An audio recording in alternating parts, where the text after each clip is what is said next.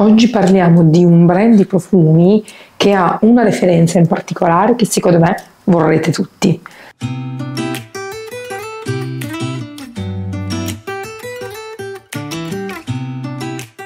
Ciao a tutti, benvenuti o bentornati sul mio canale, io sono Cristina e oggi parliamo come sempre dei profumi. Devo dire che io ho già in mano da un po' di tempo le referenze di questo brand e eh, però me ne sto studiando un pochetto per cercare insomma di essere più precisa possibile nella mia recensione. In particolare un profumo mi ha stupito ma direi che ne parliamo quando arriva il momento. Intanto cominciamo col dirvi di che brand si tratta ed è questo, si chiama Floridia, è un brand napoletano, infatti c'è scritto Floridia Napoli, il nome trae ispirazione comunque dal parco di Villa Floridia, che io non sono mai stata a Napoli purtroppo, mea culpa, ma credo si trovi, almeno così ho letto, um, nel Vomero appunto in uno dei quartieri di Napoli. Quello che il Floridia racconta, diciamo, con i suoi profumi sono delle storie, delle vere e proprie storie che raccontano sì eh, dei luoghi appunto di Napoli, ma soprattutto delle storie, mi ripeto, perché insomma adesso lo vedremo, ogni profumo ha comunque una storia particolare, cioè proprio un triso di racconti, storie che evocano eh, tempi passati o comunque luoghi. Io qui ho sia il sample kit che è questo molto molto bello, che due profumi in full size, il sample kit è fatto così, i colori di Florida sono questi, il giallo e il blu elettrico praticamente, io qua c'è un po' di confusione perché dentro ci sono tutte quante tipo le spiegazioni, appunto eh, questi, questi fogliettini dove ci sono tutte le spiegazioni del profumo, diciamo specifico e io direi di cominciare subito perché sono abbastanza e io volevo parlarvi un po' di tutti. Ma partiamo da lui che si chiama Amalfi Costantinopoli. Tantissime note, sapete io non ci vedo, mi devo mettere gli occhiali. In testa c'è caprifoglio, bergamotto, geranio, mughetto e rosa, fieno appena falciato. Nel cuore c'è eucalipto, gardenia, gelsomino, ozono e coriandolo. Nel fondo vetiver, cipresso, abete e muschio di quercia. Questo diciamo profumo è dedicato allo scambio di merci tra cui spezie che c'era comunque tra la Repubblica Marinara di Amalfi, quindi insomma la zona napoletano, e appunto l'impero bizantino. Questo profumo appunto trae ispirazione appunto da quella che era questo scambio di merci eh, avvenuto tra il IX e il XII secolo, quindi si cerca di ricreare un po' queste atmosfere un po' arabeggianti. Devo dire che questo qui è uno dei miei preferiti perché io sento, a me piacciono molto i profumi speziati eh, e qui sento una parte speziata abbastanza intensa, ma è parecchio parecchio um, contrastata da delle note secondo me orientali. Questo secondo me è molto unisex quindi non è un profumo dolce, però risulta comunque morbido, resinoso, sono delle, delle spezie ecco, um, molto morbide, non sono delle spezie secche o comunque con degli odori troppo pungenti. Passo direttamente a lui che ho in full size, appunto come vi dicevo, questa è la confezione delle full size di, Fior- di Floridia, ve le faccio vedere anche internamente così diciamo ci possiamo capire un pochino meglio. E questo è il packaging primario eh, secondo me è molto bello, vabbè sapete che io ho una passione per l'oro, quindi si vede direi, io porto gelli praticamente solo d'oro, cioè color oro comunque e quindi mi piace molto, questa boccettina è leggermente vintage, mi ricorda un pochino eh, i profumi diciamo di un tempo passato per cui mi piace parecchio. Allora questo è odorosa ginestra. E qui abbiamo ginestra gelsomino e tuberosa nella testa. Nel cuore c'è pepe rosa timo bianco mentre nel fondo c'è incenso ambra e muschio questo è dedicato diciamo a quelle che sono le, um, le pendici del famosissimo vulcano eh, che è il Vesuvio. Eh, quindi dedicato appunto a queste ginestre che crescono alle pendici di, eh, di questo vulcano. E devo dire che allora io mh, sono sincera non conosco l'odore delle ginestre e nei profumi non avevo mai avuto il piacere comunque di incontrare la ginestra, eh, almeno mh, mm, non come nota predominante. Io qui fatico a sentire comunque qualche nota predominante nel senso che non riesco a sentire gelsomino, tuberosa, che sono note comunque veramente abbastanza intense che solitamente ehm, danno proprio un'impronta ai profumi dove insomma sono inserite ma qui sento un profumo molto poudré con un allure molto molto retro, molto delicato, diciamo che non sa di talco, non sa di cipria, però è comunque cipriato, quindi è proprio poudré. Ed è veramente molto bello. Proprio, mh, mm, sapete che io adoro questi profumi che sanno un pochino di eh, vecchi, ve- vecchi cosmetici. Questo mi ricorda un odore non rossettoso ma cipriato. Passiamo adesso a Golfo Mistico che io ho appena spruzzato qui sulla mouillette. Ci sono note acquatiche, sale marino, eh, nel cuore c'è eh, anguria e note zoniche, mentre c'è legno di papiro, ambra, alga e muschio sul fondo. Mi metto e mi tolgo gli occhiali continuamente perché se li tengo la luce che sto utilizzando per poter far sì che voi mi vediate eh, riflette e non, non, non, riesco, insomma non riuscireste a vedere il video, ecco, sarebbe fastidioso. Comunque questo profumo è dedicato ovviamente a quello che è il Golfo di Napoli, quindi questo scorcio meraviglioso che tutto il mondo ci invidia, dove si incrociano comunque paesaggi stupendi naturali come il mare ovviamente, le, eh, la, la, scogliera, ma anche diciamo ehm, arte, quindi insomma è, è, un profumo con delle note ozoniche ovviamente, ma ci sono anche note particolari come quella del papiro che è veramente, cioè questo è un marino molto particolare, devo dire la verità, cioè questi profumi hanno secondo me bisogno ehm, per essere capiti di essere, eh, per essere ben capiti di essere ascoltati molto bene, sono dei profumi molto, eh, molto interessanti secondo me, ma se hanno usati con troppa, po- con troppa leggerezza rischiano di non rivelare tutta la loro bellezza. Io per esempio in questo eh, golfo mistico sto trovando moltissima bellezza, sapete che io amo molto i marini, ma in questo caso proprio sento eh, tantissimo eh, queste note ozoniche che io adoro, ma riesco a percepire anche una nota particolare che è quella del papiro che io conosco bene perché ho dei profumi con una nota di papiro ed è veramente molto molto bella. Questa è una nota legnosa, quindi di papiro, um, non c'è proprio il papiro, ma è legno, eh, che dà questa profondità c'è poi questo, eh, questa nota di anguria che dà questa spinta molto alla parte marina e la rende molto rotonda. Vi consiglio di sentirlo se vi piacciono i profumi marini. Passiamo a questo che si chiama Studio Notarile Via Chiaia, io leggo, bergamotto, neroli, lime, rosa damascene, basilico, nel cuore c'è lavanda, muschio di quercia, favaton, caribes nero e legno di agar, cuoio, mentre nel fondo abbiamo ambra, muschio e assoluta di iris. Qui eh, appunto come dice il nome del profumo, eh, Floridia ci porta in uno studio notarile di Via Chiara che è un, un quartiere, una zona di Napoli molto diciamo elegante, ecco, quindi nel cuore, nella parte elegante di Napoli, quindi all'interno di questo studio notarile si possono sentire appunto eh, odori, mm, è molto, molto bello questo profumo qui perché si sentono bene gli odori eh, che ci sono appunto dentro lo studio notarile, questi libri, questi grossi tomi messi eh, in fila uno vicino all'altro. Eh, cuoio che eh, sta a indicare magari queste 24 ore che vengono utilizzate o queste cartelle particolari dove vengono conservati questi documenti molto importanti. Quindi questo è un profumo, secondo me assolutamente unisex. Io avrei detto fosse comunque maschile, invece no, è molto unisex, ma veramente con un'eleganza estrema, un profumo non urlato, molto, delicato, eh, persistente, ma ehm, non con un'eccessiva scia, quindi insomma un profumo che voi sicuramente mh, utilizzereste veramente in un'occasione come quella eh, di eh, uno studio notarile, ecco, quindi un luogo abbastanza formale dove non è indicato utilizzare dei profumi cafoni. Ecco, questo è il contrario del profumo cafone. Ora veniamo a questo che si chiama La Suprema, che è uno dei miei preferiti. Questo è il racconto di quella che è stata una famosissima casa d'appuntamenti eh, napoletana proprio nel quartiere di Via Chiara, quindi uno dei più eleganti di Napoli. E questo profumo racconta proprio di una donna che si prepara, quindi si imbelletta eh, a uno specchio, si infila, si mette una collana di perle. Questo profumo è bellissimo secondo me perché riesce molto mm, a mm,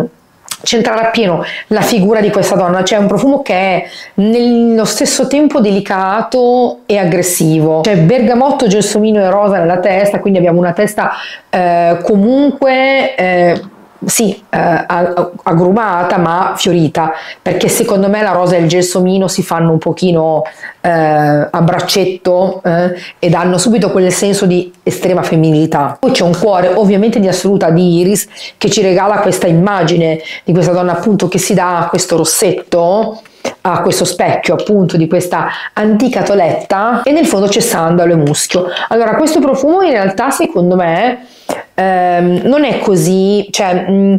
ha questa parte aggressiva che probabilmente è eh, data dalla sensualità del gelsomino che si sente parecchio eh, ma è un gelsomino molto polveroso anche qui, quindi la polverosità dell'iris sovrasta, eh, diciamo, la, mh, mm, a volte così, insomma, l'indolicità che potrebbe avere il gelsomino e ce lo fa diventare comunque più gentile, quindi questa è una sensualità che si vuole attrarre, vuole ammagliare, vuole attrarre attirare a sé, ma lo fa in modo molto delicato, quindi non è eh, veramente un profumo aggressivo nel senso di, anche qui mi ripeto, cafone, ma in realtà è un profumo anche qui polveroso. Questo iris per me è bellissimo perché è un iris molto delicato, c'è un, un, un, un che proprio di burro di iris quasi, che però non è ehm, prepotente, è ben visibile ma non troppo prepotente. Veramente bellissimo questo Suprema. Un altro profumo che mi ha veramente rubato il cuore è questo che si chiama Faccia Gialla e che è dedicato comunque al santo patrono di Napoli che è San Gennaro. Quando, proprio perché questo santo ha il viso, il volto d'oro è soprannominato così dai napoletani faccia gialla. Viene portato in processione tutti gli anni il 19 di settembre e questo profumo vuole ricordarci la sensazione che si prova entrando all'interno del Duomo di Napoli. Quindi ovviamente abbiamo un profumo che è incensato e qui troviamo mandarino di Sicilia, geranio d'Egitto e fiore d'arancio nella testa, c'è poi ribes nero, eh, patchouli, sandalo, legno di cedro e zafferano nel cuore, mentre nel fondo c'è ambroxan, muschio. Ma comunque sono presenti nelle note incenso, mirra, eh, proprio c'è cioè delle note, allora è un incenso piuttosto ecclesiastico. Questo piacerebbe moltissimo a mio marito, infatti se lo sente, secondo me se ne innamora. Allora, mm, è un po' strano e particolare nel senso che secondo me qui ehm, anche la mirra insomma delle note un po' più forse ehm, considerate rotonde, più morbide, più dolci, danno proprio il senso dell'entrare veramente all'interno di una basilica, di una chiesa, di un duomo, perché io sento tantissimo l'odore dell'incenso ecclesiastico, ma riesco a sentire anche questo odore tipico, che ora non so se sto dicendo una stupidaggine, oppure anche voi avete questo sentore quando comunque entrate in alcuni luoghi dove si trovano dei mobili di legno, soprattutto antichi. Io non riesco a capire se siano loro che emanano questo odore nell'aria oppure probabilmente i prodotti che sono utilizzati per conservarli, però nelle chiese secondo me non c'è soltanto odore di incenso, ma c'è questo odore proprio delle panche, eh, l'odore degli inginocchiatoi, cioè dei confessionali in legno, quindi queste chiese antiche, non quelle moderne ovviamente, hanno questo odore misto legno, ehm, misto legno appunto incenso e eh, prodotti più delicati, come se fossero mh, odori più delicati, scusate, come se fossero i prodotti utilizzati utilizzati veramente per conservare questi oggetti. Ecco, questo sa proprio di quello, quindi effettivamente se hanno usato ad occhi chiusi sembra di entrare in una chiesa barra basilica e quindi proprio nel Duomo di Napoli. Io non me lo volevo tenere per ultimo, non mi voglio tenere troppo sulle spine, ma vi parlo di lui che è quello che mi ha rubato proprio il cuore, che è lui, che si chiama Premiata Pasticceria Napoletana. Lui ce lo spruzziamo proprio addosso. Allora, io con lui ho avuto una storia particolare. L'ho sentito per la prima volta su Mouillette um, e devo dire la verità non mi aveva colpito quasi per nulla, cioè io non l'avevo capito questo profumo, eh, è un profumo dedicato appunto alla pasticceria napoletana, eh, quindi sfogliatelle, babà, ma anche spezie, rum, um, vi leggo le note prima di tutto che sono miele, fiori d'arancio e limetta, um, cannella e caramello, patchouli ed iris. Questo profumo secondo me, eh, ripeto, lo spruzzai su Mouillette eh, nemmeno quando insomma lo, lo, l'ho avuto io, quindi non, non qui da me, eh, e non mi convinse, cioè non è che non mi convinse, non l'avevo capito, non l'avevo compreso ed ero rimasta un po' così, no? Devo dire la verità, poi è successo che ehm, mi, mi, è arrivato appunto eh, il sample kit con le due full size che, eh, che ho ricevuto e eh, il sample di eh, premiata pasticceria napoletana mi è caduto e si è rotto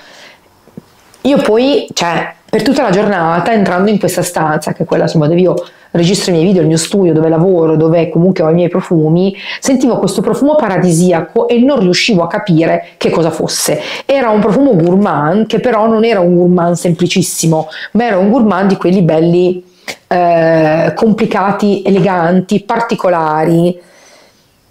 immediatamente a me è arrivata alla testa un'immagine stupenda. Io ho un po' la sindrome di Stendhal prof, da profumi, so di, rischia, ris, cioè, di, rischiare di essere insomma considerata. Uh, nel, nelle migliori delle ipotesi pazza, probabilmente lo sono, ma io ho a volte mh, veramente una, sindrome, una sorta di sindrome di Stendhal, quindi io entro all'interno di un profumo e alla mia mente arriva immediatamente una specie di immagine eh, che eh, nemmeno magari esiste, ma che eh, mi arriva proprio forte come un pugno nello stomaco. Ecco, questo profumo mi ha evocato immediatamente un vicolo di Napoli,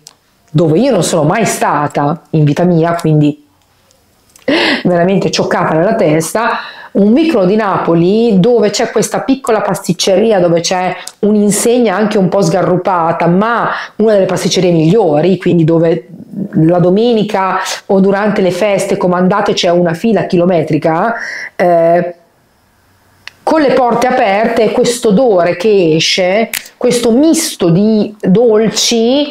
tipici napoletani. Io non so se voi siete mai entrati in una pasticceria napoletana, io ne ho una qua nella mia città, insomma nella città dove sono nata, non quella dove vivo ora, ma quella dove sono nata e devo dire che l'odore che si percepisce dentro una pasticceria napoletana ehm, quando si fanno le sfogliatelle, i babà, eh, le zeppole eh, di San Giuseppe, tutte queste cose è molto diverso dall'odore di una pasticceria tradizionale, cioè quella insomma magari con vignè, cannoli, eccetera, eccetera.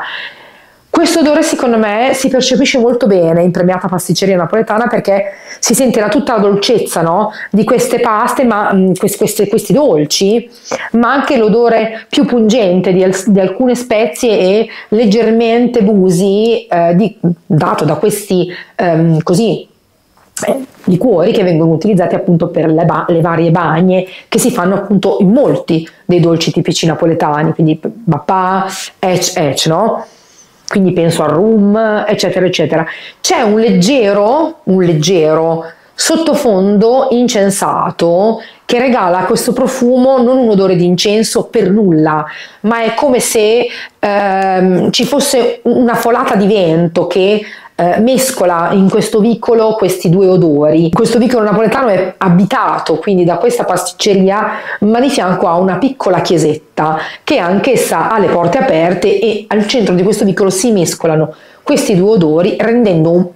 un profumo veramente meraviglioso. A me è un profumo che ha anche molto ricordato il Natale, perché questo sentore dolce, tipico di dolci, appunto gourmand, molto gourmand, mescolato a questo piccolo odore di incenso, mi ha proprio ricordato eh, le feste, le festività. Comunque sono festività cristiane che si festeggiano a casa mangiando dolci e tante altre neccornie, ma si festeggiano anche in chiesa, quindi onorando tutti quelli che sono insomma i, i, i crismi della cristianità. Come si faceva a cercare di raccontare Napoli senza parlare di Capri? Non si può. Quindi a Capri c'è un posto che si chiama Tragara, da cui trae, trae, appunto ispirazione questo profumo che si chiama proprio Tramonto a Tragara, eh, questo mh, mm, luogo particolare, un luogo famosissimo per avere i tramonti tra i più belli al mondo, decine, decine, centinaia di migliaia di fotografi, pittori, artisti hanno cercato di prendere catturare quel momento, ma non ci sono mai riusciti. Floridia ci prova attraverso questo profumo e eh, ci regala questo profumo che ha in testa la violetta, l'ilanghi langhi, il bergamotto, il mandarino, l'assoluta di fiori d'arancio. Nel cuore troviamo osmanto, pepe di Sichuan, mentre nel fondo c'è patchouli ed iris. Quindi questo profumo è un profumo molto, molto, mh, mm, secondo me, ehm, più classico. A me ricorda leggermente un profumo che utilizzavo negli anni 90 che non ricordo però eh, il nome, che mi piaceva però moltissimo perché mi ha proprio ricordato quel senso, un profumo molto caldo, avvolgente, dolce ma non gourmand, quindi è un profumo fiorito che sostanzialmente vuole ricordare quel momento del, del tramonto che è un momento comunque non so... Ehm, viene in mente il colore rosso, il colore arancione, il colore rosa eh, guardando un tramonto e vengono in mente questi colori. Sapete che io spesso faccio questa associazione mentale con i colori per quanto riguarda i profumi, mi succede spesso ed effettivamente questo profumo ha questi colori no? che ricordano eh, un tramonto. Qui abbiamo Terme Imperiali eh, dedicato alle terme di eh, Bahia o di Baia, credo sia Baia perché non c'è l'accento sulla I, eh, chiedo scusa ma io ripeto non conosco Napoli purtroppo, spero di rimediare un giorno e chiedo vegna veramente.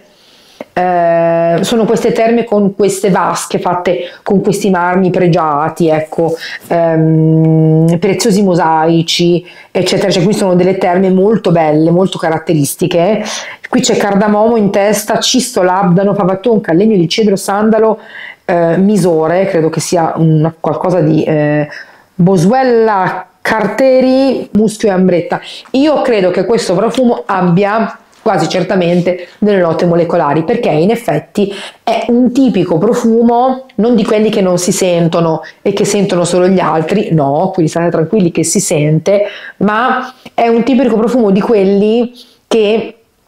eh, ha quel sentore molecolare, quindi sa di pulito, sa, è, un, è un molecolare chiaramente, quindi mh, mm, penso azzeccatissimo perché comunque quando pensiamo alle terme, comunque mh, mm, questi luoghi, pensiamo comunque a eh, profumi che ricordano la pulizia in qualche modo e in effetti questo profumo che sa di pulito in quel senso eh, appunto tipico dei profumi eh, che sono profumi molecolari. A me piace molto perché sapete che a me piacciono tantissimi profumi molecolari che sanno di pulito. Io insomma ho utilizzato per tantissimi anni queste tipologie di profumi per cui con me andiamo a nozze. Eccoci all'ultimo che si chiama Ex Manifattura Tabacchi, dedicato appunto a quella che era questa zona a est di Napoli dove c'era questa manifattura tabacchi e dove gli operai esperti trasformavano le foglie di tabacco eh, essiccato arrotolando la mano in cilindri di carta, ecco quindi proprio ehm,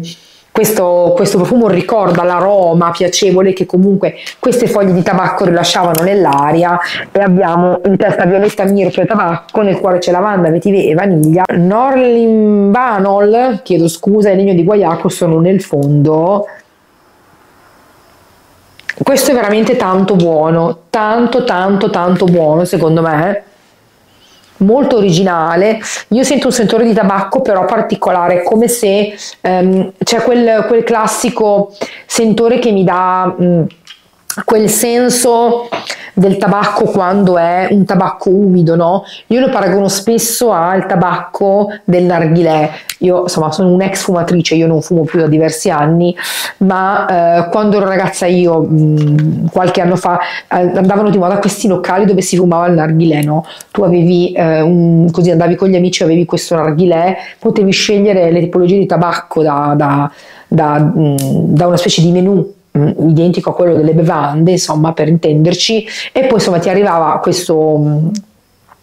eh, questo, questo, tabacco, tu lo mettevi nell'arghilè e poi insomma si fumava. Questi tabacchi erano molto umidi, mi ricordo, e molto molto profumati. Io quando sento profumi del genere mi ricordo proprio di questa tipologia di tabacco che secondo me è veramente molto buono e profumato. Io sento parecchio parecchio il sentore di violetta, eh, lavanda e vaniglia dentro questo, questo tabacco, pur essendoci comunque un sentore anche tabaccato proprio, veramente un profumo molto originale e molto particolare. Io concludo qui con questo video dedicato ai profumi di Floridia e vi eh, invito comunque a scoprire eh, il mondo di Floridia sotto, vi metto il link e tutte le varie cose che eh, potete andare a scuriosare e eventualmente a eh, prendere il sample kit per avere insomma un'esperienza più completa. Eh, come sempre spero di avervi fatto compagnia e piacere con questo viaggio profumato che abbiamo fatto insieme. Vi saluto e ci vediamo al prossimo video. Ciao!